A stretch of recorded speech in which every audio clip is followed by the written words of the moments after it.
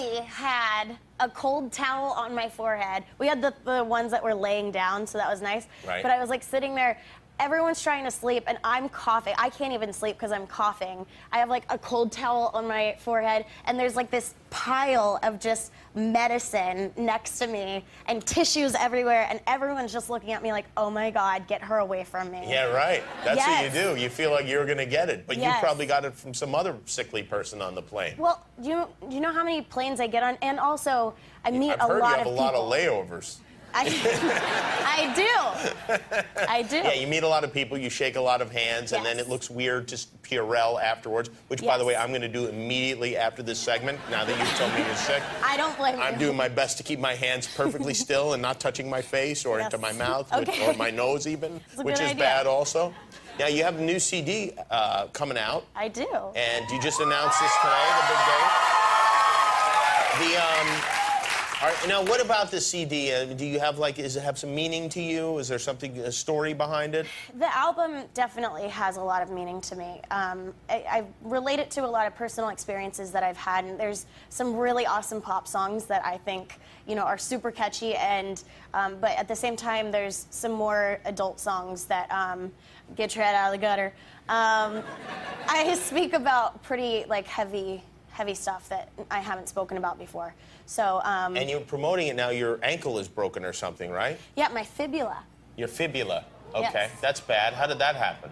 Um, I was watching Silver Linings Playbook. I had a screener of it, and um, I, I was watching it. And like 10 minutes into the movie, I went to get up to get a popsicle, and then my roommate, because I've been living in a house with a bunch of girls, um, my roommate. She had pledged the floors because she thought that's what you're supposed to clean hardwood floors with is pledge. What?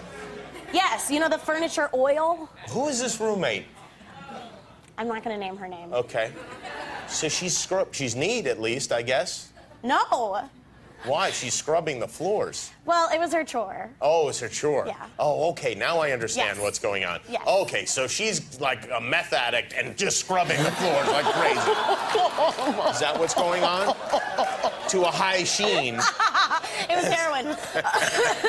Anyways, so yeah, no. I might um, Purell right now while we're doing it. Yeah. Here, you can have a little too. Let me squirt a little out your mouth. There you go. Don't. You're making me laugh. Oh my god. I'm sorry. so anyway, so um, so you broke your ankle is basically, or your fibula rather. But I blame it on Jennifer Lawrence. On Jennifer Lawrence. I was watching Silver Linings Playbook. It's all her fault. Why not Bradley Cooper? Why wouldn't he take the blame for this particular injury? It's his fault. You know what I'd like to? Oh, by the way, I have this. I want to show. This is um, you worked with Shaq before. I did. Uh, uh, which one is him and which one is you? well, this is me, and that one is him. what is going on in this picture? Oh, I really, I lion really don't remember. You don't Um, I think it was. I literally don't. Um, but I think it was like a sketch for um, the show that I was on, Sonny with a Chance. I got you. Okay. All right. Well. Well, this is the new CD. You look quite lovely on it. It's called Demi, and uh, when we come back, we will have music from Demi Lovato, everyone. So.